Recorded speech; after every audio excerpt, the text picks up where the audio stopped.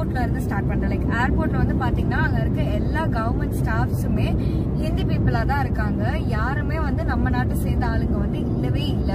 இது என்ன மேட்ருனா இந்த அம்மா துபாயிலிருந்து ஃப்ளைட் ஏறி நேராக சென்னை ஏர்போர்ட்டுக்கு வந்து இறங்குது. இறங்குன கையோட ஊரை பார்த்து போகாம ஏர்போர்ட்டையே உத்து பார்க்குது அப்படி உத்து பார்த்த வகையில் ஏர்போர்ட்டில் நடக்கிற அநியாயமும் அக்கிரமமும் இந்த அம்மாவோட கண்ணை உறுத்தி இருக்குது ஏன்னா ஏர்போர்ட் ஸ்டாஃப்ஸ் அத்தனை பேர் இந்திக்காரங்களா இருந்திருக்கிறானுங்க. சரி நாடுனா நாலு அநியாய அக்கிரமமெல்லாம் நடக்க தான் செய்யும். அதுக்கு நாம் என்ன பண்ண முடியும்? நாம் வந்த வேலையை பார்ப்போம் ஊரை பார்த்து போவோம்னு நேராக ரயில்வே ஸ்டேஷனுக்கு போயிருக்குது. அங்கே பார்த்தா அதை விட அநியாயம் தலைவிரிச்சு ஆடி இருக்குது ஏன்னா அங்கேயும் அத்தனை ஸ்டாஃப்ஸும் இந்திக்காரனுங்களா இருந்திருக்கிறானுங்க. சரி இதுக்கு மேலே பொறுக்க முடியாது பொங்கி எழுந்துருவோம்னு கையெடுக்க கருவியை எடுத்து நாட்டில் நடக்கிற அநியாயத்தை பாருங்க அக்கிரமத்தை பாருங்கன்னு ஒரு காணொலியை பதிவு பண்ணி பரவ விட்டுருக்குது. இந்த மாதிரி வீடியோக்களுக்காகவே அந்த பக்கம் நாம் தமிழர் தம்பிகள்லாம் வெயிட் பண்ணிட்டு இருக்கிறானுங்கல்ல அவனுங்க கண்ணில் இது பட்டிருக்குது. அவ்வளவுதான் தம்பிகள்லாம் களத்தில் இறங்கிட்டானுங்க. தமிழ்நாட்டில் நடக்கிற அநியாயத்துக்கு எதிராக சீரிய சீமான் தங்கச்சின்னு டைட்டில போட்டு இந்த அம்மா சீமானோட தங்கச்சி தாங்கிறதுக்கு ஆதாரமாக இந்த அம்மா சீமான் கூட நிற்கிற மாதிரி ஒரு ஃபோட்டோவை போட்டு வெறித்தனமாக பரப்ப ஆரம்பிச்சிட்டானுங்க. கடைசியாக இந்த வீடியோ என் கண்ணிலையும் பட்டுச்சு. ஆனால் நான் இதை ஃபஸ்ட்டு சீரியஸாக எடுத்துக்கல. ஏன்னா நாம் தமிழர் கிறுக்கணுகளும் கிறுக்கிகளும் இந்த மாதிரி நூறு வீடியோக்களை தினமும் போட்டுக்கிட்டு தான் இருக்கிறானுங்க. அதுக்கெல்லாம் நம்ம பதில் சொல்லிக்கிட்டு இருக்க முடியுமா? அப்படின்னு கண்டுக்கல. அது மட்டும் இல்லாமல் இந்த அம்மா சீமானோட கிறுக்கு தங்கச்சி தாங்கிறதுக்கு நம்மள்ட்ட என்ன ஆதாரம் இருக்குது? அவனுக்கு காட்டுற அந்த நாலு நான் ஃபோட்டோவை தவிர நம்மக்கிட்ட வேறு எந்த ஆதாரமும் கிடையாது. ஸோ எந்த ஆதாரமும் இல்லாமல் ஒரு நல்ல மனநிலை இருக்கிற பெண்ணை சீமானோட கிறுக்கு தங்கச்சின்னு பிரான் பண்ணுறதுல எனக்கு உடன்பாடு கிடையாது. ஒரு அப்பாவி பெண்ணை சீமான் தங்கச்சின்னு சொல்கிறதுல எனக்கு உடன்பாடு கிடையாது. அதனால் இதை நான் முதல்ல கண்டுக்கல. அப்புறமா தான் கவனித்தேன் இந்த அம்மா சீமானோட தங்கச்சின்னு இந்த அம்மாவோட நெத்தியிலேயே எழுதி ஒட்டி இருக்குது என்ன? இந்த வீடியோவிலேயே இந்த அம்மா என்ன சொல்லுது? நான் ஏர்போர்ட்டுக்கு வந்து பார்த்தேன். அங்கிருந்து அத்தனை பேர் இந்திக்காரங்களாக இருந்தாங்க. நம்ம நாட்டுக்காரங்க யாருமே இல்லை. அப்படிங்குது. இது போதாதா? தமிழ்நாட்டில் தமிழ்நாடு தனி நாடுன்னு யார் நம்புவா? வேற யார் நம்புவா? நாம் தமிழர் கிறுக்கணுகளும் கிறுக்கிகளும் தான் நம்புவாங்க. ஸோ இந்த அம்மாவும் அதையே தான் சொல்லுது. ஸோ இந்த அம்மா கண்டிப்பாக ஒரு நாம் தமிழர் கிறுக்கியாக தான் இருக்க முடியும். அதனால் இந்த அம்மாவுக்கு பதில் சொல்லியே தீரணுங்கிறதுக்காக தான் இந்த வீடியோ. ரைட் மேட்ரு என்னன்னா இந்த அம்மா சொல்கிற மேட்ரு உண்மைதான். பொதுவாகவே மத்திய அரசு துறைகளில் தமிழர்களுக்கு உண்டான ரெப்ரசன்டேஷன் கம்மி தான் இதே தமிழர்களுக்கு மட்டும் இல்லை மொத்த தென்னிந்தியாவுக்குமே மத்திய அரசு துறைகளில் உண்டான ரெப்ரசன்டேஷன் இல்லை தான் இது இன்னைக்கு நேற்று இருக்கிற பிரச்சனை இல்லை இந்தியா சுதந்திரம் அடைஞ்ச காலத்திலிருந்து இருக்கிற பிரச்சனை தான். அன்னையிலிருந்து இன்னைக்கு வரைக்கும் தென்னிந்தியாவும் வட இந்தியாவும் இது சம்பந்தமாக சண்டை போட்டுக்கிட்டே தான் இருக்குது. ஆனால் என்ன பண்ணுறது அதிகாரம் டெல்லியில் இருக்கிறதுனால அவங்க தொடர்ந்து மத்திய அரசு துறைகளில் தென்னிந்தியர்களை புறக்கணிச்சுக்கிட்டே தான் இருக்கிறாங்க. ஏர்போர்ட்டு ரயில்வே டோல்கேட்டு பேங்கிங்கு மிலிட்ரின்னு அத்தனை மத்திய அரசு துறைகள்லையும் தென்னிந்தியா தொடர்ந்து புறக்கணிக்கப்பட்டுக்கிட்டு தான் இருக்குது. எங்களுக்கு உரிய ரெப்ரசன்டேஷனை கொடுங்கன்னு சவுத் இந்தியாவிலேருந்து பெரிய போராட்டமெல்லாம் பண்ணிக்கிட்டு தான் இருக்கிறாங்க. அதெல்லாம் உண்மைதான். இதில் இன்னொரு முக்கியமான விஷயம் இருக்குது. நாம் அத்தனை பேரையும் பொத்தம் பொதுவாக இந்திக்காரங்கன்னு சொல்கிறோம் ஆனால் உண்மை என்னன்னா அங்கே வட இந்தியாவையே எடுத்துக்கிட்டிங்கனாலும் அங்கே இருக்கிற அத்தனை இந்திக்காரங்களுக்கும் மத்திய அரசு துறைகளில் உரிய ரெப்ரசன்டேஷன்லாம் இல்லை. நார்த் இந்தியாவில் இருக்கிற ஒரு நாலஞ்சு மாநிலங்களில் இருக்கிற வெகு சில மேல் ஜாதிக்காரங்க தான் மத்திய அரசு துறைகளை பெருமளவுக்கு ஆக்குப்பை பண்ணியிருக்கிறாங்க.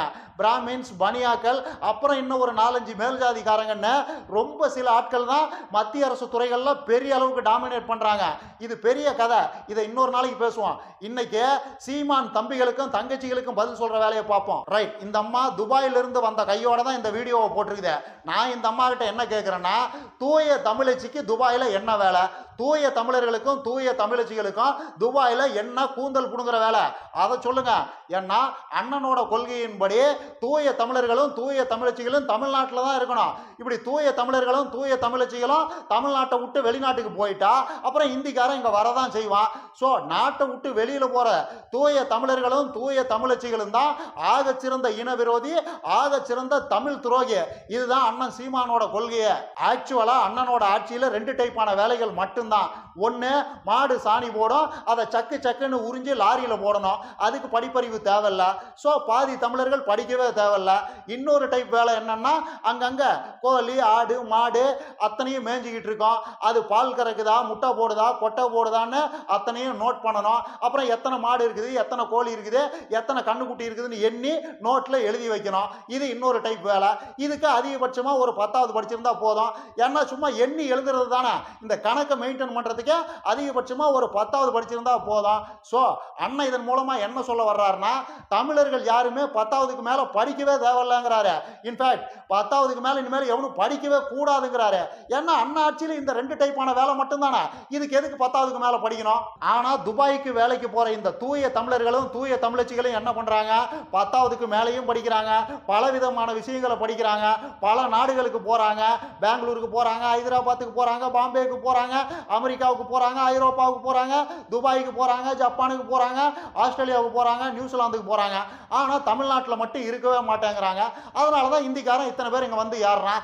இங்கே இருக்கிற அடிப்படை வேலைகளெல்லாம் தமிழர்கள் தூய தமிழர்கள் செஞ்சால் இந்திக்காரன் இங்கே எதுக்கு வர்றான்? தூய தமிழர்கள்லாம் தமிழ்நாட்டில் இருக்காமல் வெளிநாட்டுக்கு போயிட்டு அப்புறம் இந்திக்காரன் இங்கே வந்துட்டான் அவன் தமிழர் நிலத்தை ஆக்கிரமிக்க துடிக்கிறான் அப்படின்னு அலறதுல என்ன நியாயம் இருக்குது?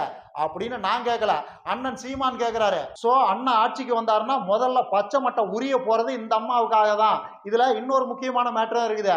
அண்ணன் ரொம்ப நாளாக இன்னொன்னையும் சொல்லிட்டு இருக்கிறாரு. அது என்னன்னா தமிழ்நாட்டில் தமிழ் படிச்சவனுக்கு மட்டும்தான் வேலை. நான் ஆட்சிக்கு வந்தேன்னா ஆங்கிலம் படிச்சவனெல்லாம் அயல் நாட்டுக்கு வேலைக்கு ஓடிட வேண்டியதான் அப்படின்னு இருக்கிறாரு. இதுக்கு என்ன அர்த்தம்? தமிழ் மட்டும்தான் தமிழ்நாட்டில் படிக்கணும். இங்கிலீஷ் எவனும் படிக்கக்கூடாதுன்னு தான் இதுக்கு அர்த்தம். ஏன்னா இங்கிலீஷ் படித்தாதானே நீங்கள் அமெரிக்காவுக்கு போகிறீங்க ஐரோப்பாவுக்கு போகிறீங்க துபாய்க்கு போகிறீங்க தூத்துக்குடிக்கு போகிறீங்க இன்னும் எல்லா ஊருக்கும் போகிறீங்க ஸோ தமிழ் மட்டும்தான். அப்போ தான் தமிழன் தமிழ்நாட்டுக்குள்ளேயே கிடப்பான். தமிழர் நிலத்தை வேற யாராலையும் ஆக்கிரமிக்க முடியாது. அப்படிங்கிறத அண்ணன் ரொம்ப நாளாக சொல்லிக்கிட்டு இருக்கிற ஒரு விஷயம். இந்த லாஜிக் படி பார்த்தாலும் அண்ணன் ஆட்சிக்கு வந்தால் இந்த அம்மாவை பட்டையாக உரிக்கிறது கன்ஃபார்ம் தான். ஏன்னா இந்த அம்மா துபாயிலிருந்து வந்திருக்குது. ஒன்று இந்த அம்மாவே படித்து துபாய்க்கு வேலைக்கு போயிருக்கணும். இல்லைன்னா இந்த அம்மா துபாயில் வேலை பார்க்குற ஒருத்தராக பார்த்து கண்ணாலம் கட்டியிருக்கணும். இல்லைன்னா டூர் போயிட்டு வந்திருக்கணும். எது எப்படி இருந்தாலும் தூய தமிழர்கள் தமிழ்நாட்டில் தான் இருக்கணும். தமிழ்நாட்டை விட்டு தூய தமிழர்கள் யாருமே வெளியில் போகக்கூடாதுங்கிறது தான் அண்ணனோட கொள்கையை. ஸோ பட்டை உரியது கன்ஃபார்ம் இது எல்லாத்துக்கும் மேலே தூய தமிழர்களுக்கு உண்டான வரையறைன்னு அண்ணன் இன்னொரு ஐட்டத்தையும் வச்சிருக்காப்புல. அதாவது தமிழ் மொழியோடு பிற மொழியை கலந்து பேசுபவன் தன் தாயை பிறரோடு அனுப்பிவிட்டு வந்துதான் அந்த வேலையை செய்கிறான். அப்படிங்கிறதும் அண்ணனோட அடிப்படை கொள்கைகளில் ஒன்று ஸோ அந்த லாஜிக் படி பார்த்தா இந்த அம்மா ஏர்போர்ட்டுங்குது ரயில்வே ஸ்டேஷனுங்குது கம்பல்சரிங்குது சுச்சுவேஷனுங்குது கண்ட மேனிக்கு ஆங்கிலத்தை கலந்து பேசிக்கிட்டு இருக்குது. ஸோ இந்த அம்மாவும் தன் தகப்பனாரோட மனைவியை இன்னொருத்தர் கூட அனுப்பி வச்சுட்டு வந்து தான் இந்த வீடியோவை போட்டிருக்குதா என்னன்னு எனக்கு தெரியாது. அநேகமாக நாம் தமிழர் தற்குறி தம்பிகளுக்கு தெரியும்னு தான் நினைக்கிறேன். பதில் சொல்லுங்கடா கூமட்ட தம்பிகளா. ஐ எம் வெயிட்டிங் இன்னும் நிறையா பேசலாம். லைக் பண்ணுங்கள் ஷேர் பண்ணுங்கள் கமெண்ட் பண்ணுங்கள் மறக்காமல் சப்ஸ்கிரைப் பண்ணிடுங்க